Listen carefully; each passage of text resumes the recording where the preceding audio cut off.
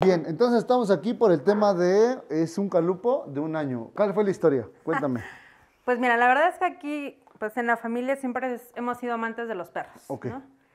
Este, entonces ya llevamos aquí prácticamente la, la familia un buen rato sin perro, Ok. eh, porque la que más sufría pues era mamá, ¿no? De, Sí, sí. "Ah", era la que se quedaba con Necesito los algo perros. que sí, sí, acariciar. sí. Entonces, este, la verdad es que muchísimo tiempo ya no tuvimos ningún perro. Hasta hace como, justamente al inicios de pandemia, Ajá, ajá. mi hermana adquiera dos ratoneras. Ok. Entonces, las dos ratoneras y sí, entonces como que se reanima, ¿no? El amor al, al- al animal, a los perritos. Y entonces, este, a mí me gustan mucho perros grandes. No importa el que sea, pero que Pero sea grande. grande, Chiquititos. No. generalmente no. ¿no? Entonces, una vez mi hermana me dijo, me manda un mensaje, me dijo, oye, este, mira, cómprate este perro, ¿no? Y entonces es, es un perro, digo, se ven muy chistosos sí, cuando sí, tienen meses, Sí, ¿no? Los ves hasta como raros, pero le dije, ¿y, y ese perro? Le digo, pastor alemán, dice, no. Entonces ella me habla de la raza. Del calupo. Ajá, es un calupo.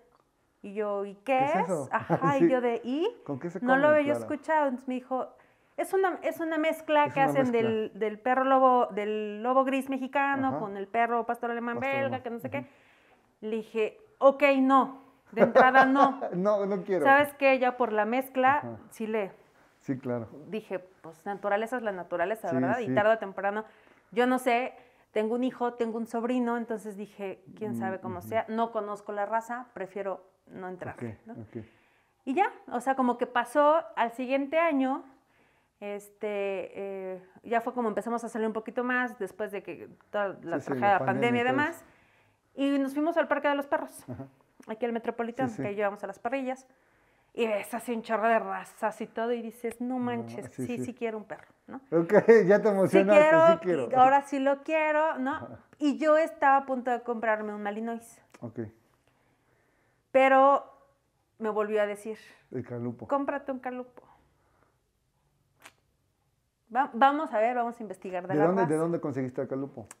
Ahí te va. Entonces, ella contacta a la persona que le estaba vendiendo el calupo hace un año y me dice, pues, obvio, ya no lo tengo, bye. Ya ¿no? se fue. Y entonces me meto a las páginas de internet de calupo. Ajá. Calupos Lovers, Sí, sí, sí, este. Calupos México, Claro, mil, claro. mil de calupos. Y entonces ahí empiezo a preguntarles, Ajá. oigan, estoy interesado en un cachorro, por favor, este, si alguien sabe, y no sé qué. Y entonces, ya sabes, todos los criaderos de calupo Se me empiezan a decir. ¿no? sí, claro. Obvio, cuando ves el precio, dices, amo los perros, Pero, pero no me voy a sí, comprar un perro de, de- de criadero, Sí, porque sí, son muy, Muy caros. caros, claro. Entonces, vi que un chavo me puso, me mandó un mensaje, me dijo, yo tengo uno. Ah, porque yo les puse, estoy en Puebla, pues algo cerca, porque Ujú, sí, sí. vi que había en Tijuana y dije, No. ni voy a ir a Tijuana, ni voy a pagar el- Sí, no. la verdad, ¿no? Sí, sí. Entonces, este, un chavo me, me contesta y me pone, oye, yo soy de Izúcar y tengo una hembra y, una, ma- una hembra y un macho. Dije, Mm, ahí. ya la hice, ¿no? sí. Lo busco, me contacta, me manda fotos y veo al perro y digo, no conozco mucho, pero sí. este es un chachaguate. O sea, este no es un calupo, ¿no? Sí, sí. Dice mi hermana, ve a verlo. O sea, Sí, sí, verlo. verlo. Y, y- Está y sí, cerca. Sí, claro. Me quedé de veras de cuenta, hoy, ¿qué onda? ¿Nos vemos? Hoy, vamos. ¿Y me fui? De hecho, hasta me llevé a la que tenía que dar permiso, Sí, ¿verdad? claro, claro. A la mamá. Entonces nos vamos, veo al perrito, tenía, eso fue en noviembre y tenía cinco meses. Ya estaba grande. Ya estaba grandecillo. Para eso me mandó fotos de los papás también, ¿no? Bueno, el tema es que ya cuando lo veo, me lo enseña el chico, ¿no? O sea, e- el chico me enseña el perro y le digo, ¿y cómo sé que es calupo? Porque él no es criadero Sí, sí, ni no, no, nada, no, o sea, él claro. tiene a mamá loba y papá lobo y ya, sí, sin registros, sin nada, nada.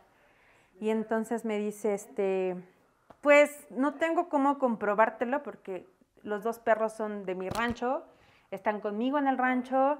Este, yo he mandado, él así me dijo, ¿no? Dice, yo hasta inclusive he mandado cachorros a- al criadero de, De tan. de-. Y yo, sin la verdad, sin conocer más de la raza. Pues yo lo vi y dije, pues mira, si al rato me sale un pastor belga o pastor alemán, Pues ya, es un ya perrito, igual. ¿no? Sí, claro, sí. Y entonces ya cuando le digo, bueno, pues ¿cuánto es? ¿No? O sea, la verdad es que cuando me dio el precio dije, pues bueno, Razonable.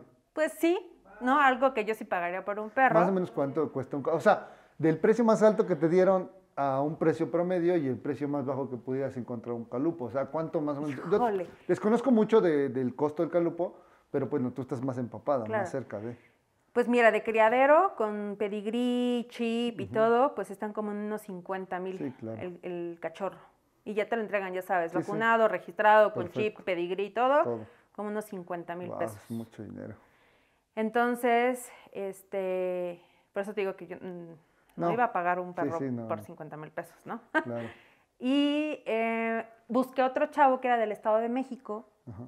y él me daba igual con su certificado y todo, 7 mil. Ah, Me dijo 7. No, es cierto, 10, perdóname, ujú. 10. Y dije, ah, ser, todavía no, ser. pero híjole. Dije, donde se me muera el pe- Sí, sí, sí. el Así, ya- sí, salen alas a tu dinero. Y entonces cuando contacto a este chavo y lo fui a ver y me dijo, mira, la camada fue de 12, Ujú, ya nada más me quedan ellos dos. Por ser últimos dos, 6.500. Mm. Y yo de, Bueno, pues vamos. bueno ¿no? ya me voy. Nos vemos. entonces. Vámonos, ya si te digo, si me sale al rato claro. pastor Claro, sí, alemán sí, ya- con Malinois, pues sí, sí. dices, ni modo, Ni era el modo. riesgo que yo tenía que Claro. correr, ¿no?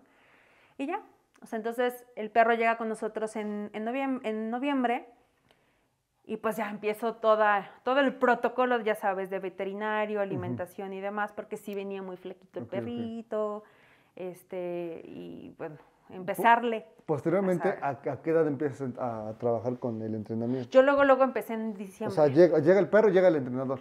Entonces, este, empiezo a trabajar con él. Ujú. Lo empecé a trabajar no porque yo viera algún dato importante o de alerta, Ajá, porque yo tuviera un problema, No, sino porque yo no quería que se no, volviera un problema. porque que yo dije, ya me había dicho el chavo, el papá del perro mide 70 centímetros de la Guau, cruz. Muy Entonces me alto. dijo, va a crecer igual, o sea, casi, casi, Sí, ¿no? Entonces, este, pues sí, aquí mi papá, mi mamá es de, oye, pues de una vez ve viendo, porque al rato, mm, al no conocer ni temperamento ni Claro. nada, no sabemos a qué nos estamos enfrentando.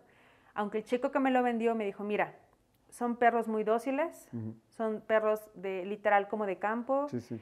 Mi perro o los perros conviven con chihuahueños, con French Pool, con todo tipo de perro, no va a haber problema. ¿no? Seguro, sí, agresivo, no como cualquier otro perro.